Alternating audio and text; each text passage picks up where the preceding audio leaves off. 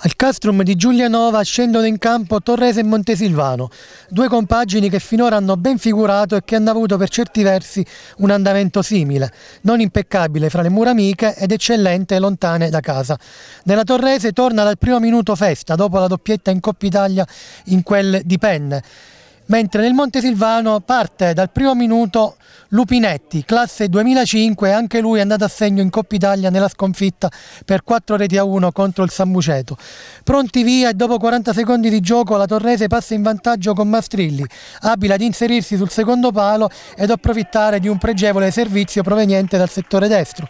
Al quattordicesimo cross di Santi Rocco sul quale si avventa l'estremo difensore ospite Ubertini che però poi pasticcia perdendo il possesso della sfera, ma i ragazzi di casa non trovano il modo di depositare nel sacco la palla del 2-0. Ancora pericolosa la Torrese di rimessa. Al ventisettesimo Gentile in verticale serve Festa, la cui conclusione viene respinta da Ubertini, abile a difendere la propria porta in uscita. Alla mezz'ora azione insistita di Mosca, che penetra in area di rigore incartandosi però al momento di concludere rete. Al 42esimo bomba di Tini dalla lunga distanza sulla quale Ubertini vola a respingere la sfera indirizzata alla sua sinistra. Con le immagini di Mario Giacchetta ci spostiamo alla ripresa. Passano appena 45 secondi e Festa spreca la palla del raddoppio, concludendo in diagonale di poco al lato. Al decimo calcio di rigore per i padroni di casa.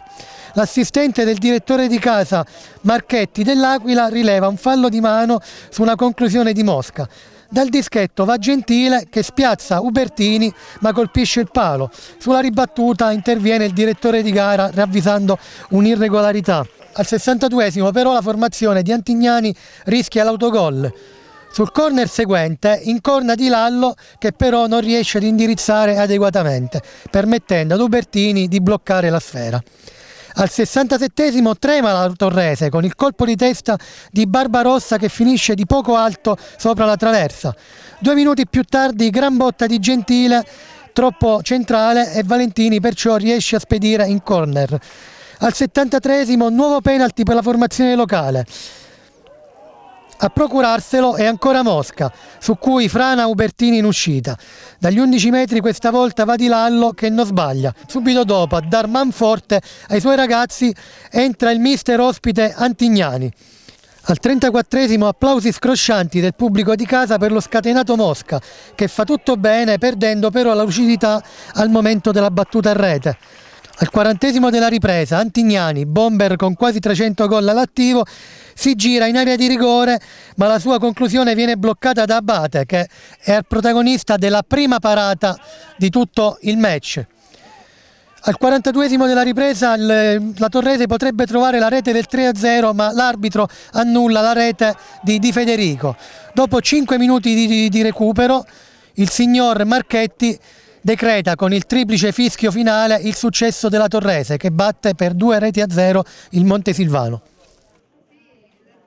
Mister Antignani, il gol subito a freddo ha complicato la vita.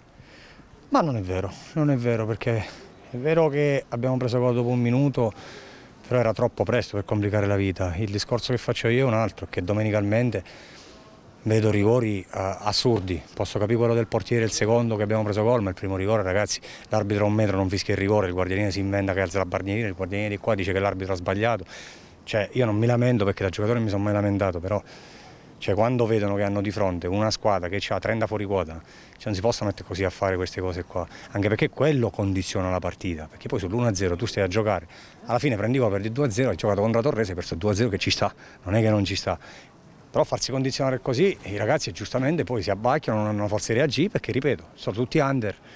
Questo è il discorso che, che vi faccio io, non è che c'è altro. Il gol dopo 30 secondi si recupera. Mister Cristofari, un avvio di gara come meglio non si poteva.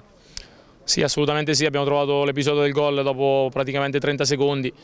E diciamo che la partita sembrava aver preso una strada più congeniale a noi, invece poi la partita si è rivelata difficilissima abbiamo trovato di fronte un Montesilvano veramente agguerrito che non ci ha fatto giocare, ci ha messo un po' in difficoltà, noi abbiamo difeso con grande ordine, abbiamo avuto qualche situazione per poter raddoppiare, il primo tempo è andato via in maniera tranquilla, il secondo tempo abbiamo avuto subito l'occasione per poter raddoppiare, ne abbiamo avute altre, abbiamo sbagliato un rigore poi abbiamo finalmente fatto il 2-0 e poi loro hanno avuto un unico episodio con, con, la traversa, però devo dire che noi non abbiamo giocato come sempre, si inizia a sentire un po' la stanchezza anche dopo l'impegno di Coppa, però devo fare i miei complimenti ai ragazzi perché non era facile, insomma veniamo da tre risultati importanti di fila, ci proiettano alla partita di Penne mercoledì difficilissimo, quindi un grosso applauso va, va a loro e da domani testa al Penne.